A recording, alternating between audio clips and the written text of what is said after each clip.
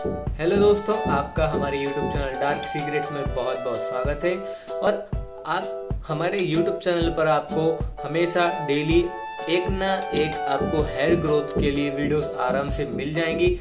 हम हमारे चैनल पर हेयर ग्रोथ हेयर फॉल और हेयर प्रॉब्लम से रिलेटेड सारी वीडियोस के साथ, सारे प्रॉब्लम्स के सॉल्यूशन लेकर के आते रहते हैं।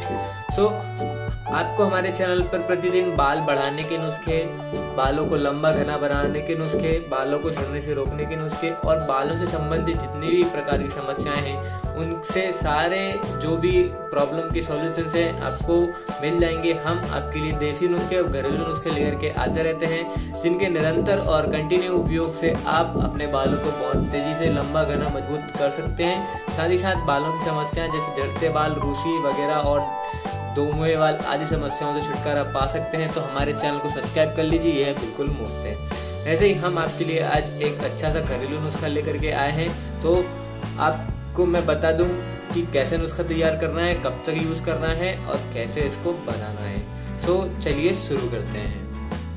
सो गाइस जो नुस्खा हम यहाँ पर तैयार कर रहे हैं, उसको ध्यान से देखिएगा।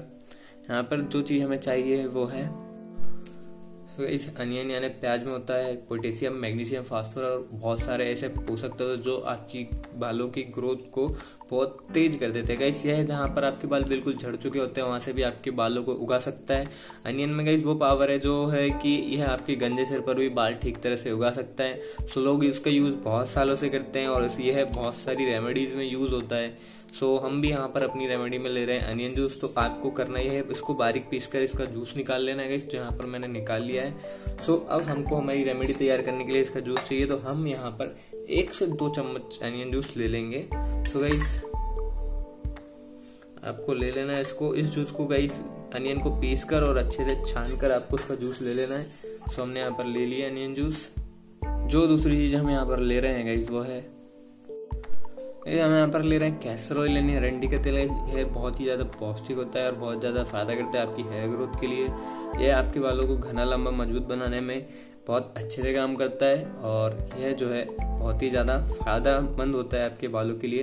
तो आप इसको आसानी से जो है कहीं से भी मंगवा सकते हैं, ले सकते हैं या फिर आसपास किराना या जनरल स्टोर पर मिल जाएगा। तो हम यहाँ पर एक चम्मच जो है कैस्टर ऑयल ले लेंगे। तो आपको एक कटोरी एक बॉल और एक चम्मच ले लेंगे जिसमें हमें एक चम्मच कैस्टर ऑयल यहाँ पर ले लेना है। सो एक चम्मच कैस्टर ऑयल हमने यहाँ पर ले लिया है।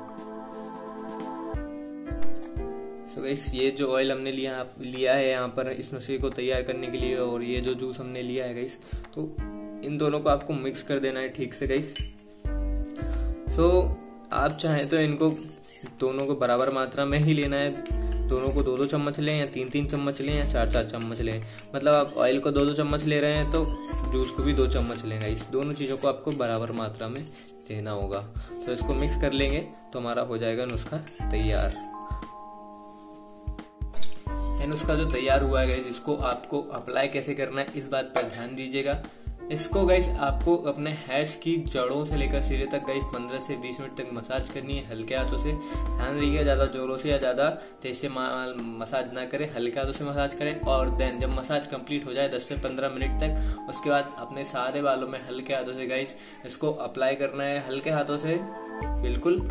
सारे बालों में अप्लाई करके छोड़ दीजिए। दो घंटे तक दो घंटे बाद आप चाहें तो शैम्पू कंडीशनर कर सकते हैं या फिर नहीं भी करें तो बेहतर होगा। आप नेक्स्ट डे या फिर इसके यदि आप इसको सुबह यूज़ करें तो शाम को शैम्पू कंडीशनर कर सकते हैं या रात में यूज़ करें तो सुबह शैम्पू कंडीशनर यूज़ कर सकते हैं। सो यह बहुत ही अच्छी रेमेडी इसको कंटिन्यू यूज़ करेंगे आप हफ़्ते में ए, तीन से चार बार तो बहुत ही अच्छे रिज़ल्ट मिलने वाले हैं आपको। Hope you like the video तो लाइक करना सब्सक्राइब करना शेयर करना मत भूलिएगा।